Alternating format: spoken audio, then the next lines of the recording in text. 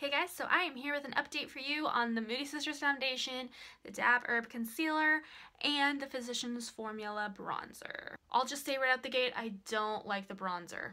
Just not a fan. I think it was just too light for me. I need a little bit, a little bit more warmth in my bronzer.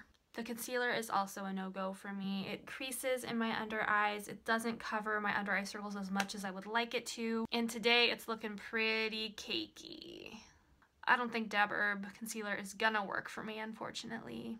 As for the Moody Sisters foundation, I do like it. I set it today the way I normally set my makeup and it's doing an amazing job. It does just look like my skin, but I am using a shade lighter than I was using in my first impressions video and I just think it's too light for me. And I felt like the shade that I used in my first impressions was a little bit too dark.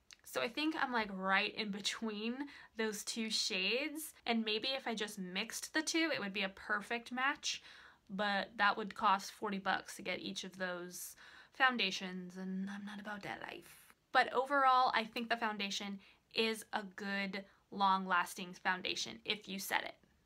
I also want to note that it did not settle. I mean, it settled a little bit into my lines like this one because that one's really pronounced, but definitely not as bad as in my first impressions video, especially because we're at five hours right now and it's doing a really good job of just keeping that area nice and smooth. So that's it, just a very short and sweet little update for you and I'll see you in my next video. Bye.